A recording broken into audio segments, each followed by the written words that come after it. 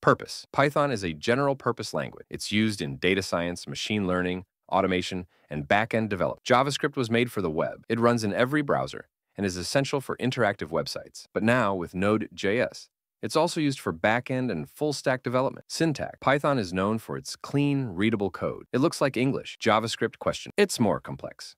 Lots of braces, semicolons, and weird behaviors. Speed.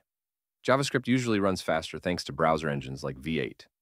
Python is slower, but makes up for it with powerful libraries and easy coding.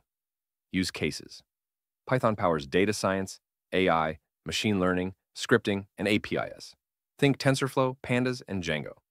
JavaScript builds websites, mobile apps with React Native, and even desktop apps with Electron. Community and libraries. Both have massive communities and libraries.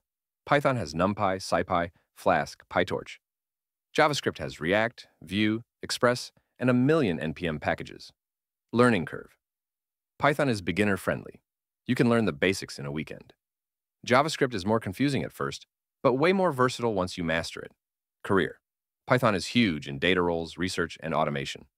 JavaScript is essential for any front-end or full-stack developer job. So which one should you learn? Want to build websites or mobile apps? Go with JavaScript. Want to automate tasks or dive into AI? Python's your pick. Interested in both?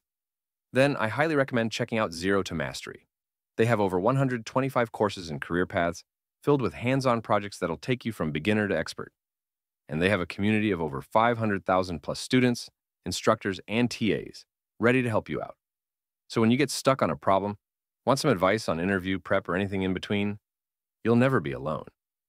No other platform I've come across has something like this.